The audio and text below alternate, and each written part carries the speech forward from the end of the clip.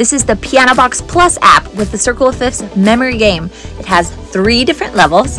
Level one, where you match four key signatures. Level two, where you match six key signatures. And level three, where you match nine key signatures. I always have the students pick the blue one first, name the key signature, and then try to find the green card that matches. Once it matches, it'll disappear from the screen, and they can go on to the next blue card, name the key signature, and then it disappears once they find the match.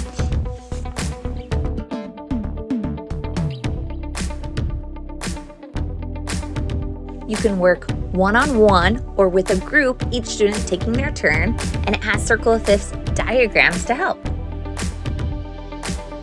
This student is using the piano to help her find the name of the key signature that has three sharps.